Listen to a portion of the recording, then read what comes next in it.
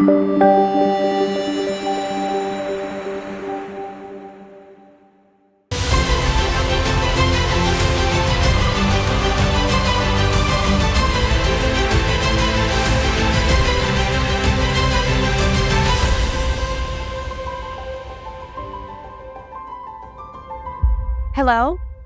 my name is Keeya Vawar, and I'm going to be reading with you today Ezekiel 20 through 22. Go grab your Bible. Chapter 20 In the seventh year, in the fifth month, on the tenth day, some of the elders of Israel came to inquire of the Lord, and they sat down in front of me.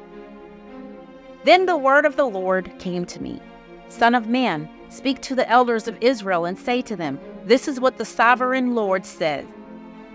Have you come to inquire of me? As surely as I live, I will not let you inquire of me, declares the sovereign Lord. Will you judge them? Will you judge them, Son of Man?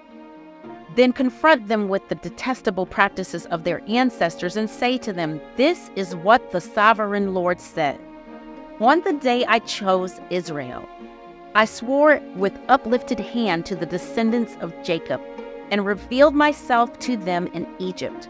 With the uplifted hand, I said to them, I am the Lord your God. On the day I swore to them that I would bring them out of Egypt into a land I had searched out for them, a land flowing with milk and honey, the most beautiful of all lands.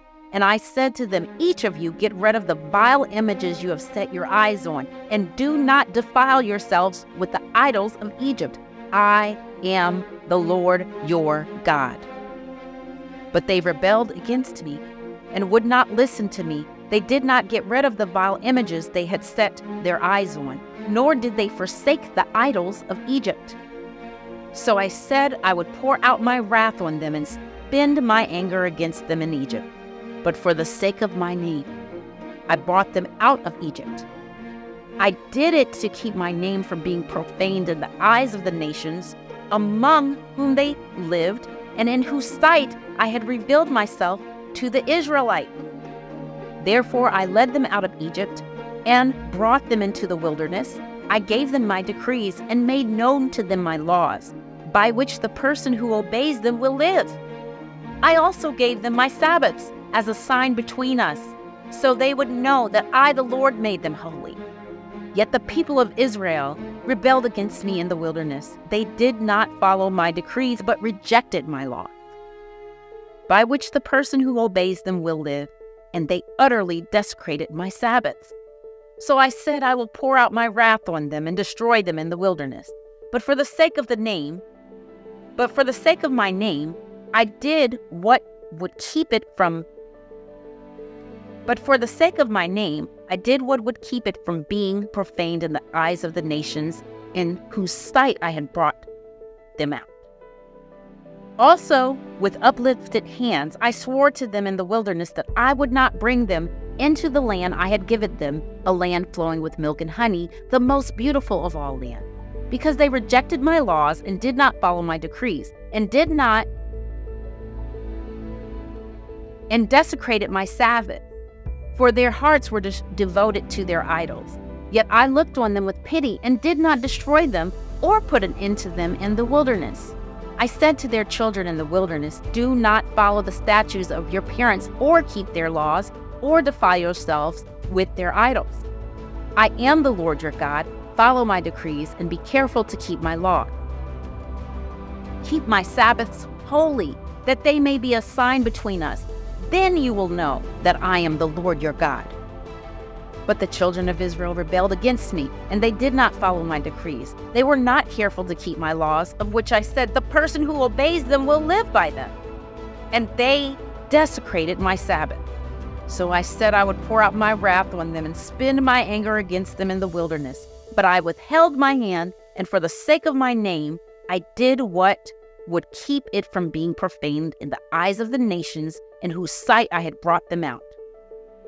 Also, with the uplifted hand, I swore to them in the wilderness that I would disperse them among the nations and scatter them through the countries, because they had not obeyed my laws, because, but had rejected my decrees and desecrated my Sabbaths. and their eyes lusted after their parents' idols. So I gave them other statutes that were not good, and laws and laws through which they could not live.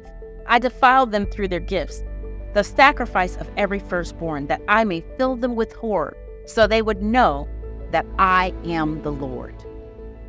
Therefore, Son of Man, speak to the people of Israel and say to them, This is what the sovereign Lord says. In this also your ancestors blasphemed me by being unfaithful to me when I brought them into the land I had sworn to them. When I brought them into the land that I had sworn to give them, and they saw any high hill or any leafy tree, they there they offered their sacrifices, made offerings that aroused my anger, presented their fragrant incense, and poured out their drink offering. Then I said to them, What is this high place you go to? It is called Bamah to this day. Therefore say to Israelite, therefore say to the Israelite, This is what the sovereign Lord says. Will you defy yourselves the way your ancestors did and lust after their vile images? Will you offer your gifts, the sacrifice of your children, in the fire? You continue to defile yourselves with all your idols to this day. Am I to let you inquire of me, you Israelites? As surely as I live, this declares the sovereign Lord, I will not let you inquire of me. You say, We want to be like the nations, like the people of the world who serve wood and stone. But what you have in mind will never happen. As surely as I live, declares the sovereign Lord, I will reign over you with a mighty hand and an outstretched arm with outpoured wrath. I will bring you from the nations and gather you from the countries where you have been scattered. With a mighty hand and with an outstretched arm and with outpoured wrath, I will bring you into the wilderness of the nations, and there, face to face, I will execute judgment upon you. As I judged your ancestors in the wilderness of the land of Egypt, so I will judge you, declares the sovereign Lord. I will take note of you as you pass under my rod, and I will bring you into the bond of the covenant. I will purge you of those who revolt and rebel against me. Although I will bring them out of the land where they are living, yet they will not enter the land of Israel. Then you will know that I am the Lord. As for you, people of Israel, this is what the sovereign Lord says Go and serve your idols, every one of you, but afterward you will surely listen to me and no longer profane my holy name with your gifts and idols. For on my holy mountain, the high mountain of Israel, declares the sovereign Lord, there in the land all the people of Israel will serve me, and there I will accept them. There I will require your offerings and your choice gifts. Along with all of your holy sacrifices, I will accept you as fragrant incense when I bring you out from the nations and gather you from the countries where you have been scattered and I will be proved holy through you in the sight of the nations. Then you will know that I am the Lord when I bring you into the land of Israel and the land I had sworn with uplifted hand to give to your ancestors. There you will remember your conduct and all the actions by which you have defiled yourselves, and you will loathe yourselves for all the evil you have done. You will know that I am the Lord when I deal with you for my name's sake and not according to your evil ways and your corrupt practices. You people of Israel, declares the sovereign Lord. The word of the Lord came to me Son of man, set your face towards the south. Preach against the south and prophesy against the forest of the south land. Say to the southern forest, Hear the word of the Lord. This is what the sovereign Lord said. I'm a, I am about to set fire to you, and it will consume all your trees, both green and dry. The blazing flame will not be quenched, and every face from south to north will be scorched by it. Everyone will see that I, the Lord, have kindled it. It will not be quenched. Then I said, Sovereign Lord, they are saying of me, isn't he just telling parables? Chapter 21 The word of the Lord came to me Son of man, set your face against Jerusalem and preach against the sanctuary. Prophesy against the land of Israel and say to her, This is what the Lord says I am against you. I will draw my sword from its sheath and cut off from you both the righteous and the wicked because I am going to cut off the righteous and the wicked. My sword will be unsheathed against everyone from south to north. Then all the people will know that I, the Lord, have drawn my sword from its sheath, and I will not return again.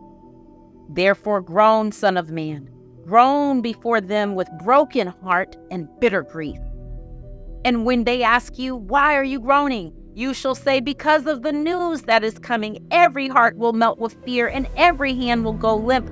Every spirit will become faint, and every leg will be wet with urine. It is coming. I will surely take place, declares the sovereign Lord. It is coming. It will surely take place, declares the sovereign Lord. The word of the Lord came to me, Son of man.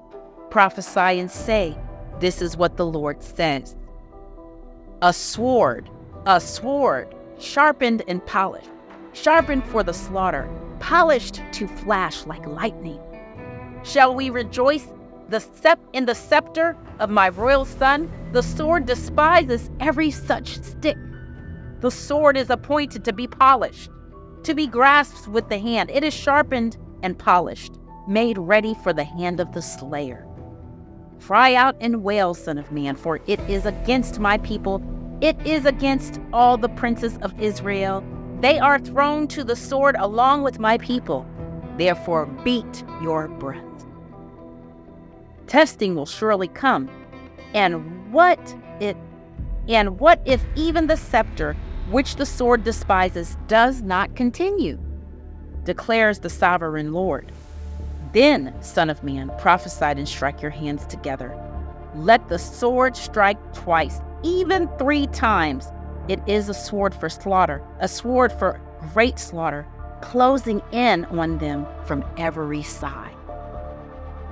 So that the hearts may melt with fear, and the fallen be many, I have stationed the sword for slaughter at all their gates. Look, it is forged to strike like lightning its grasp for slaughter. Slash to the right your sword, then to the left, wherever your blade is turned. I too will strike my hands together, and my wrath will subside. I, the Lord, have spoken. Then the word of the Lord came to me Son of man, mark out two words. Son of man, mark out two roads for the sword of the king of Babylon to take both starting from the same country. Make a signpost where the road branches off to the city. Mark out one road for the sword to come against Rabbah of the Ammonite, and another against Judah and fortified Jerusalem. For the king of Babylon will stop at the fork in the road, at the junction of the two roads, to seek an omen. He will cast lots with arrows he will consult his idols, he will examine the liver. And to his right hand will come the lot for Jerusalem, where he is to set up battering rams, to give the command to slaughter, to sound the battle cry, to set the battering rams against the gates, to build a ramp, and to erect siege works. It will seem like a false omen to it will seem like a false omen to those who have sworn allegiance to him, but he will remind them of their guilt and take them captive. Therefore, this is what the sovereign Lord said Because you people have brought to mind your guilt by your open rebellion, revealing your sins and all that you do, because you have done this, you will be taken captive.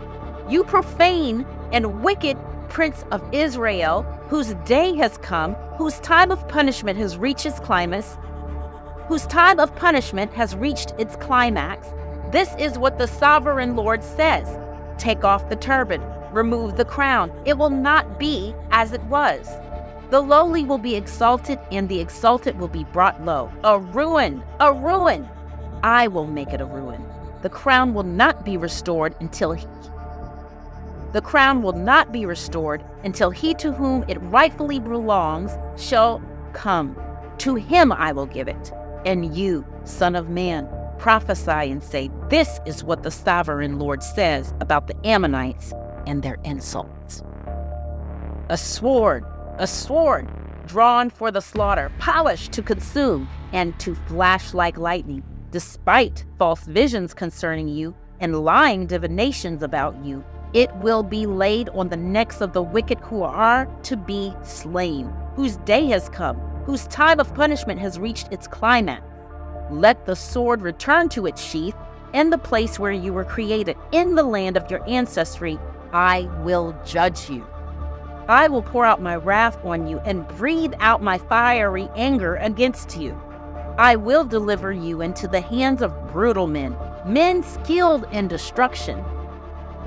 You will be fuel for the fire. Your blood will be shed in your land. You will be remembered no more. For I, the Lord, have spoken. Chapter 22 The word of the Lord came to me Son of man, will you judge her? Will you judge the city of bloodshed? Then confront her with all her detestable practices and say, This is what the sovereign Lord said Your city that brings on herself doomed by shedding blood in her midst and defiles herself by making idols. You have become guilty because of the blood you have shed and have become defiled by the idols you have made. You have brought your days to a close, and the end of your years has come. Therefore, I will make you an object of scorn to all nations and a laughing stock to all countries. Those who are near and those who are far will mock you. You infamous city, full of turmoil. See how each of the princes of Israel who are in you uses his power to shed blood in you they have treated father and mother with contempt. In you they have oppressed the foreigner and mistreated the fatherless and the widow. You have despised my holy things and desecrated my Sabbaths. In you are slanderers who are bent on shedding blood. In you are those who eat at the mountain shrines and commit lewd acts. In you, those who dishonor their father's bed. In you are those who violate women during their period when they are ceremonially unclean. In you, one man commits a detestable offense with his neighbor's wife, another shamefully de- defiles his daughter in law, and another violates his sister, his own father's daughter. And you are people who accept bribes and shed blood. You take an interest and make a profit from the poor. You extort unjust gain from your no- neighbors. And you have forgotten me declares the sovereign Lord. I will surely strike my hands together at the unjust gain you have made at the blood you have shed in your midst. You will your courage endure, or your hands be strong in the day I deal with you? I, the Lord, have spoken, and I will do it. I will disperse you among the nations and scatter you through the countries, and I will put an end to your uncleanness. When you have been defiled in the eyes of the nations, you will know that I am the Lord. Then the word of the Lord came to me Son of man, the people of Israel have become dross to me. All of them are the copper, tin, iron, and lead left inside a furnace. They are but the dross of silver. Therefore, this is what the sovereign Lord says Because you have all become dropped, I will gather you into Jerusalem. As silver, copper, iron, lead, and tin are gathered into a furnace to be melted with a fiery blast, so will I gather you in my anger and my wrath and put you inside the city and melt you. I will gather you and I will blow on you with my fiery wrath, and you will be melted inside her. As silver is melted in a furnace, so you will be melted inside her, and you will know that I, the Lord, have poured out my wrath on you. Again, the word of the Lord came to me Son of man, say to the land, You are a land that has not been cleansed or rained on in the day of wrath. There is a conspiracy of her princes within her like roaring like a roaring lion, tearing its prey. They devour people, take treasures and precious things, and make many widows within her. Her, pri- her priests do violence to my law and profane my holy thing. They do not distinguish between the holy and the common. They teach that there is no difference between the unclean and the clean. And they shut their eyes to keep the and they shut their eyes to the keeping of my Sabbath, so, so that I am profaned among them. Her officials within her are like wolves tearing their prey. They shed blood and kill people to make unjust gain. Her prophets whitewash these deeds for them by false visions and lying divinations. They say, This is what the sovereign Lord said, when the Lord has not spoken. The people of the land practice exhortation and commit robbery. They oppress the poor and needy and mistreat the foreigner, denying them justice. I looked for someone among them who would build up the wall and stand before me in the gap on behalf of the land so I would not have to destroy it. But I found no one. So I will pour out my wrath on them and consume them with my fiery anger, bringing down on their own heads all they have done, declares the sovereign Lord.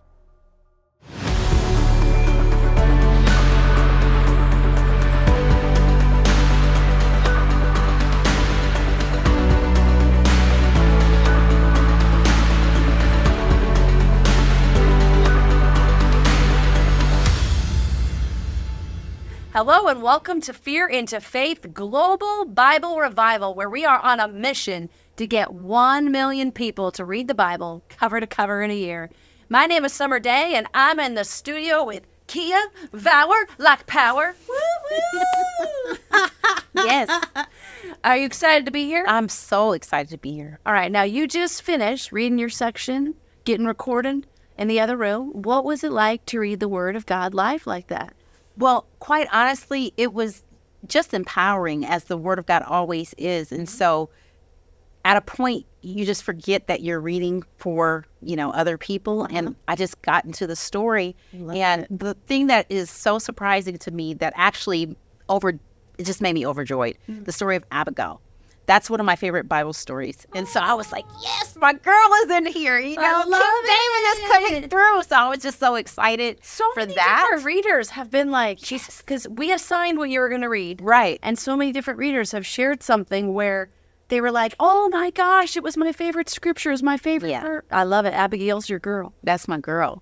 So you just kind of got in it and almost Yeah. forgot what you were doing. literally like i just got in it and you know it, it it's the word of god so it ministers to you as you're reading and it reminds you and so even the selection of the scriptures that were i didn't read them ahead of time Um, okay. i know i was told to but i was running it was you know No, that day you jumped on the project late in the game. You're okay. oh my gosh but i'm so glad that i did like li- literally this has been an answered prayer literally I love it. yeah Yeah, because you you didn't know me, you didn't know about this project. You just had a friend who had come and was a reader, and you just blindly said, "Hey, reading the Word of God, I'm in," and then jumped in obedience. It was actually a podcast that I was on, and um, he told me about the project. He said, "Would you be interested?" I'm like, "What? Yeah, of course I'll be interested." Because I'd literally been praying since the beginning of the year for an opportunity like this. I didn't know how it was going to happen, so I knew um, automatically. I knew I was like, "This is the voice of God." So.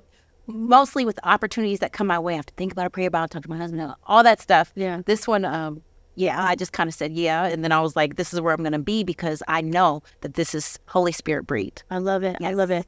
Tell me why you think that. Tell me why you feel like people reading the Word of God is so important. Well, because it's alive. The word of God is literally alive. And so I don't care how many times I've read the story of Abigail over the years, mm-hmm. there's something new that jumps out. There is a new revelation. There is a reminder of our kinsman redeemer. It is a shadow and typology of Jesus Christ and how he redeemed us. And so there's so much more in there than that. Mm-hmm. But because it's alive, it ministers something new. Every time you open up the word of God, you're going to get something different. I don't care how many times you read it. Yeah. If you're one of those Bible readers who reads everything, mm-hmm. oh, every four months you're reading the Bible, or every year you're reading through the Bible, or however you do it, you're going to look at stories you read in your childhood and you're mm-hmm. going to read them again, and they're going to speak something different to you because that's how good our God is. He, he, he has put his word here on this earth. It is alive, it is a mm-hmm. breathing word. Mm-hmm. And so that's why. I love it. I love it. I can hear, I can hear your passion. Oh, yeah. You ever you ever read in the Bible and you know you've read that many times. You've read the story of Abigail, but you look at a particular verse and you swear, "Did you just put that in there today? I've never seen that one." You ever have that happen to you? I have. Um, and the the funny thing is, I'm so glad that you guys chose what you chose because I was like, Lord, they could have given me Revelation, they could have given me parts of Ezekiel that is a little scary, but um, it doesn't matter because it's all there for a reason, and so it's there to minister to your spirit, even if you don't understand it. Just keep reading, get something different. Yeah. And I love reading and rereading stories that are familiar, um, and then hearing them preached by maybe a different pastor or preacher or a minister of the word, you get something different. So I think of the word of God as like a diamond with different facets, and you're going to get something good no matter how the angle is hitting on that particular day. Good. And the light can shine from all the different areas. I Come love on. it. I love it. I love it. Well, uh, I don't really know very much about you, so kind of. But your name is Keeya. Yes. Where are you from? I'm a military brat. Um, I like to start off with that because I was born in Madrid, Spain, checkerboarded the U.S., and I got Born to in Dallas Spain. as soon as I could Tell us as soon as for some barbecue and some Tex-Mex. It's good. It's Come good on. barbecue here. Ain't nobody lying. Look for real. Yeah, Yeah. I love it. And how long you been in Dallas? Uh, on and off since 1989. Okay. Yeah, Quite some time. it's home. And what do you do? Uh, what don't I do? Oh, I love that. What So what do I do? Are you Um, a chef at a restaurant? No, We could play this guessing. I game. wish. Just change tires. no, not mechanical. Uh, grow fruit. I get flats though. but But what um, is it you do? So um, I am married to a pastor who has been uh, in ministry for over 22 years. Um, and 21 of those years we spent in ministry together. We married in 2002. Yeah. Um, so when I met him, he was an associate youth pastor at a very big church here. And I was just a little intern. You were a little. I was a little intern. Falling for the pastor. Falling for the pastor. Okay, you gotta stop right there. We want that. Tell us. Tell us what it's like to be the little intern falling for the pastor. Well, um, I had come out of a pretty sketchy lifestyle, and so I wasn't really a church girl, even though I kind of grew up in the church, but I kind of got away from it. Okay, we're gonna get there in a minute. And so I was just like, when I found out that he liked me after three interviews for the strategic support team, I asked my friend who was like office manager, I was like, is he interviewing anyone else? She said, no, he just keeps requesting you. And she's from Trinidad and Tobago, so she said it with a real strong accent. And she was like, Keeya, I think he likes you. I said, he doesn't like me. She said, yes, I think he does. And so um, about six months later, we were married, and uh, three children later, uh, 21 years later, so our marriage is an adult. Wow. Yeah. Our, our marriage is an adult 21. Our marriage has reached adulthood. So good. Okay, so you were born and raised in the church. I'd love to hear your God journey. I'd love to hear you take us starting with raised in the church. Parents took you to church. Uh, pretty much raised in the church. You know, um, Traveling around, would you go to different churches? Uh, we went to a lot of different churches, grew up in a lot of different places um, as a result, and not as a result of my father being in the military. Um, but he was dishonorably discharged uh, for some sketchy stuff. And we came to the U.S. and we faithfully went to church, but we had sinful problems. But we were hidden in the church, nestled in there, um, getting the word of God, but living like H E double hockey sticks behind the scene. Wow. Yes, yes. So he was a retired veteran. I say retired, but it was dishonorably discharged. Um, but a veteran nonetheless. You can check out the rest of this interview right here or by going to BibleRevival.tv. And if this show has blessed you, you can help us bless others by partnering with us for as little as $20 a month and help us to expand the reach of this show. We'd also like to invite you to join our Kingdom Discipleship Program, where you have an opportunity to get on weekly Bible Zoom calls with us and people around the world to deep dive into His Word. And you can check all that out at BibleRevival.tv. I'll see you next time, my friend.